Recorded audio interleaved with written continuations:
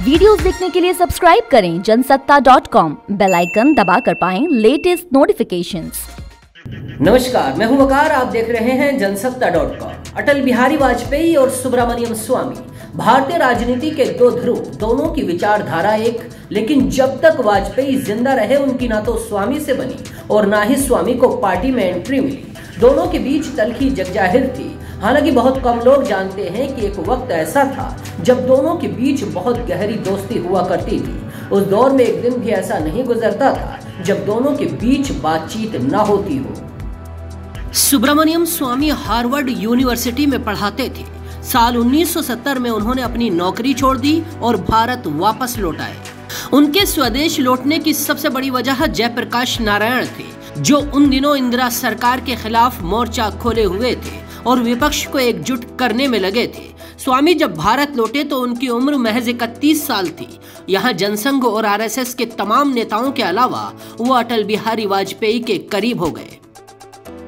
खुद स्वामी कहते हैं 1970 और इकहत्तर के शुरुआती महीनों में एक भी दिन ऐसा नहीं गुजरता था जब उनकी वाजपेयी से बात ना होती हो।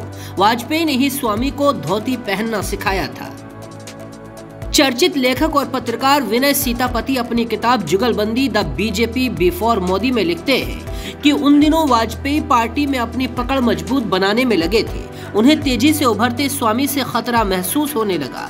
स्वामी आरएसएस के करीब आ रहे थे और जनसंघ के लिए आर्थिक मसौदा तैयार करने की अहम ज़िम्मेदारी भी मिल गई थी।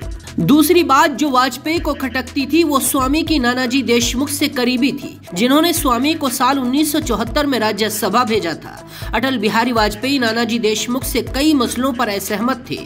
सुब्रमण्यम स्वामी कहते हैं कि वाजपेयी ने मुझसे दो टूक कहा कि मैं नानाजी के साथ ना रहूँ।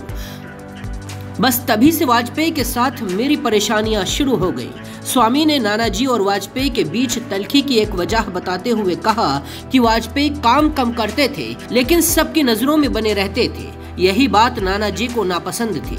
एक बार नानाजी ने कह दिया था, भीड़ हम लाते हैं, दरी हम बिछाते हैं और सारा श्रेय अटल जी ले जाते हैं। सुब्रमण्यम स्वामी और वाजपेयी के बीच की दरार की दो और वजह रही। स्वामी की पत्नी रोक्षना स्वामी अपनी किताब evolving with Subramanian Swamy a roller coaster ride में लिखती हैं कि इमरजेंसी के दौरान सुब्रमण्यम स्वामी अंडरग्राउंड हो गए थे। उन्हें राज्यसभा से भी निलंबित कर दिया गया था। स्वामी पर इस कार्रवाई के खिलाफ हम याचिका दाखिल करना चाहते थे और जनसंघ में कानूनी मसलों को देख रहे अप्पा घटाटे के हम पास पहुँचे। उन्होंने कहा, वाजपेयी ने साफ़ कहा है, स्वामी से दूरी बनाकर रखी जाए। उनका हमसे कोई संबंध नहीं है। स्वामी की पत्नी रोक्षाना लिखती हैं कि दरअसल वाजपेयी स्वामी की मदद करना ही नहीं चाहते थे। सुब्रमण्यम स्वामी और वाजपेयी के बीच तलखी साल 1999 में एक ऐसे मोड़ पर पहुँच गई, जहाँ से वापस लौटना मुश्किल था। केंद्र में वाजपेयी की सरकार थी और जयललिता उन्हें समर्थन दे रही थी। बदले में वो दो चीज़ें चाहती थी। पहला, वाजपेयी सुब्रमण्यम स्वामी को वित्त मंत्री बना दे। और दूसरा, तमिलनाडु की तत्कालीन करुणानिधि सरकार पर नकेल कसे। वाजपेयी दोनों के लिए तैयार नहीं हुए। वाजपेयी के इसी अंदाज से खफा स्वामी ने ट्रंप कार्ड चल दिया। उन्होंने एक चाय पार्टी आयोजित की। इस पार्टी में जयललिता और सोनिया गांधी को एक टेबल पर बैठाया गया। इसी पार्टी में अटल बिहारी वाजपेयी की सरकार गिराने की पटकथा लिखी गई। जयललिता ने समर्थन वापस ले लिया। वाजपेयी सरकार बहुमत साबित नहीं कर पाई और एक वोट से सरकार गिर गई।